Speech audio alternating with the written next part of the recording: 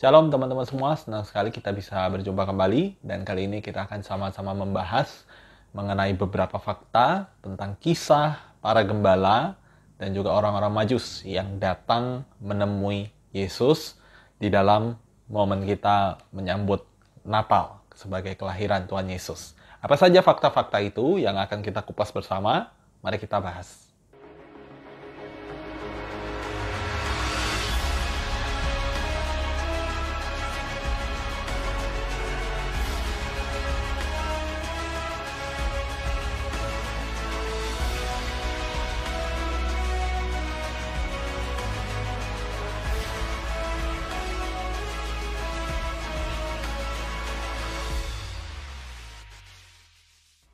Nah, teman-teman, di dalam kisah yang sering kali kita dengar berkaitan dengan kisah para gembala dan juga kisah orang majus, sering kali ada beberapa macam uh, penafsiran yang mungkin saja timbul di dalam mengkaitkan uh, kedua kisah ini.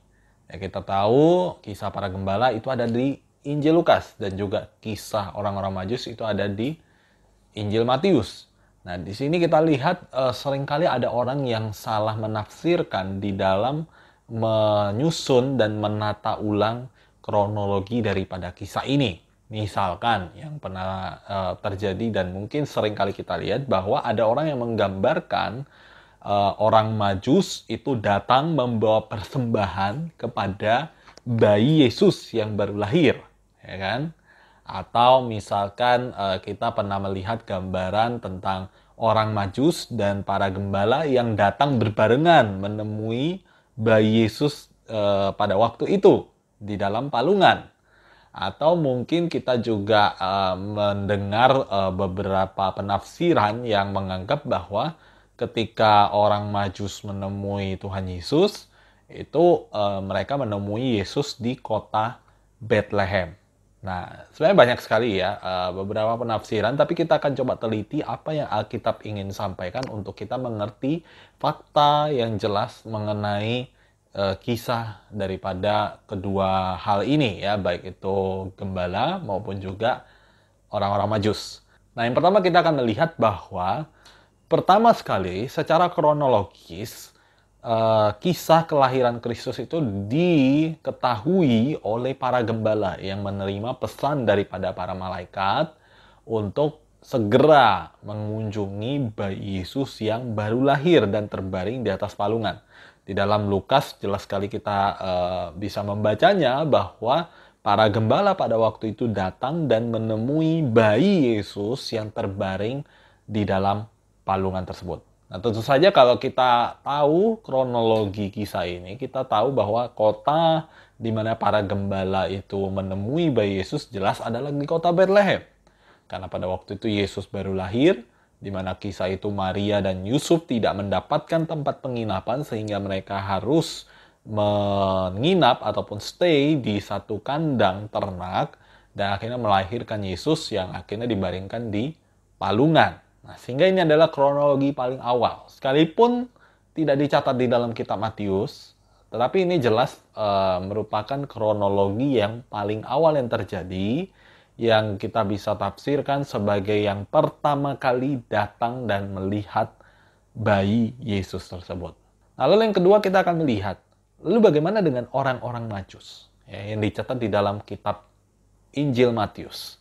Sekalipun dicatat di dalam Injil Matius bukan berarti posisi kronologisnya lebih duluan ya. Seringkali ada orang yang menganggap karena kisah orang Majus ini dicatat di Injil Matius maka dia yang paling duluan? Tentu tidak, ya. Nah, kalau kita dapat mencerna dengan seksama, jelas sekali yang dicatat di dalam Injil Matius bahwa pada waktu orang Majus itu datang mengikuti arahan bintang, mereka tiba di sebuah rumah, ya. Dan mereka menemui Maria, Yusuf dan juga anak kecil yang pada waktu itu adalah Yesus Kristus. Jadi bukan menemui bayi di dalam palungan, maka beberapa gambaran yang mungkin teman-teman uh, bisa dan pernah lihat mengenai orang Majus yang menemui bayi Yesus tentu uh, tidak sesuai dengan apa yang disampaikan oleh Alkitab ya, di dalam Injil Matius itu sendiri. Sehingga kita melihat bahwa kronologi orang-orang Majus itu adalah kronologi yang belakangan terjadi. Ya. Jadi yang pertama adalah para gembala selang beberapa waktu ketika uh, tidak lagi ada di kandang terus dong ya uh, Yesus dan uh, kedua orang tuanya, tapi mereka sudah ada di satu rumah dan di situlah para orang Majus datang dan mereka mempersembahkan persembahan yang terbaik sesuai dengan arah bintang yang mereka ikuti. Nah, ini menarik sekali ya bahwa uh, tentu saja ini adalah dua kisah dengan kronologi yang tidak berbarengan ya.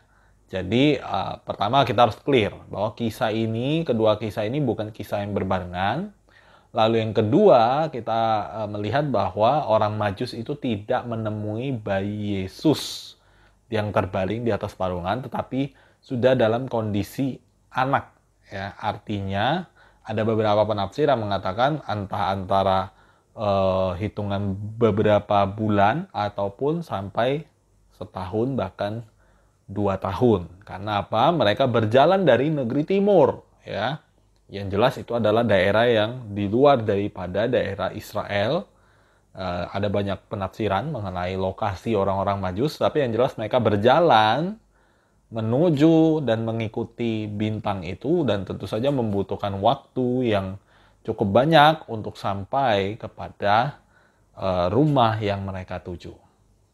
Nah, lalu berikutnya setelah kita mengetahui urutan kronologi yang jelas, maka kita akan uh, kembali timbul pertanyaan ya bahwa kalau pada waktu pertama kali Yesus lahir, Yesus lahir di Bethlehem, lalu pada waktu orang Majus mengunjungi Yesus, di manakah letak mereka tinggal? Nah, ini kan ada beberapa orang yang sering kali uh, tidak sengaja ataupun salah di dalam menafsirkan bahwa Yesus itu tinggal di Bethlehem ketika ditemui oleh orang-orang Majus. Nah, pertanyaannya adalah apakah demikian? Ya. Nah, kalau kita telusuri ya di dalam Injil Lukas itu sendiri bahwa uh, secara kronologi jelas tidak mungkin uh, Maria dan Yusuf terus stay di kota Bethlehem karena mereka pada waktu itu hanya ke kota Bethlehem untuk melakukan sensus penduduk. Ya, jadi itu bukan eh, daerah asal mereka, tetapi itu adalah sebagai arahan juga untuk penggenapan nubuatan yang dicatat di dalam kitab Mika ya di dalam perjanjian lama. Nah, jelas sekali bahwa bukan di Bethlehem, lokasi daripada orang-orang Majus itu menemui uh, Yesus sekalipun Herodes ya raja Herodes pada waktu itu bilang bahwa dia mendengar Yesus lahir di kota Bethlehem. Tetapi karena orang Majus itu mengikuti arah bintang, maka mereka tiba di sebuah kota yang kita kenal sebagai kota Nazaret. Nah, Nazaret inilah yang menjadi lokasi di mana orang-orang Majus itu menemui Kristus ya, Yesus yang sudah bukan lagi bayi yang berbaring di palungan, tapi sudah cukup bertumbuh pada waktu itu. Dan kita tahu Yesus berasal dari kota Nazaret sebagai kampung halamannya. Dan Yesus sendiri di dalam pelayanannya jelas mengatakan ketika ia ditolak di dalam uh, kampung halamannya sendiri ketika dia melayani di situ, maka ini mengindikasikan pada waktu awal sekali para gembala datang, itu mereka masih di Bethlehem. Tetapi sesudah itu mereka kembali lagi ke kota Nazaret. Nah, jadi jelas ya di dalam hal ini bahwa eh, kota di mana dua kisah ini bukan juga kota yang sama. Para gembala itu ada di kota Bethlehem pada waktu itu, sedangkan orang Majus menemui Yesus di kota Nazaret. Tentu saja ini adalah sebuah penafsiran yang uh, juga uh, memiliki banyak uh, pendapat di dalamnya, tetapi Eh, kita bisa melihat urutan secara kronologis demikian. Lalu yang terakhir adalah di dalam momen menyambut Natal ini kita belajar dari kisah para gembala dan orang majus.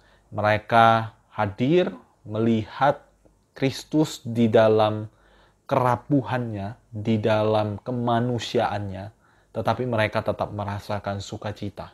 Para gembala melihat bayi Yesus di atas palungan itu dan mereka bersukacita Sekalipun bayi itu hanya ada di dalam palungan, di dalam kandang, yang mungkin sangat berbeda di dalam anggapan orang-orang Yahudi pada waktu itu tentang gambaran Mesias, tetapi jelas bahwa mereka tetap bersuka cita dan mereka membagikan sukacita itu kepada orang-orang di sekitarnya. Demikian orang-orang Majus.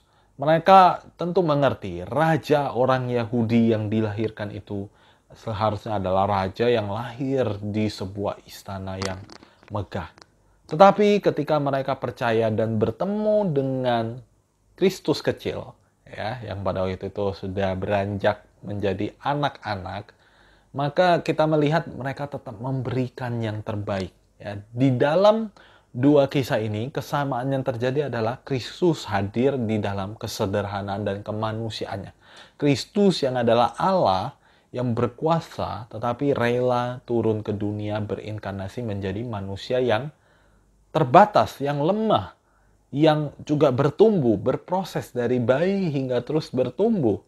Maka kita melihat respon gembala dan juga orang-orang majus menjadi respon yang harus kita refleksikan di dalam menyambut masa Natal ini. Apakah kita yang terkendala pandemi ini kita menganggap bahwa uh, Natal tidak bisa kita rasakan suasananya atau ketika kita mungkin harus Natalan di rumah kita merasa seperti tidak Natalan. Come on, ya kita belajar dari kisah para gembala dan orang majus. Mereka hadir dan melihat Kristus di dalam kesederhanaannya.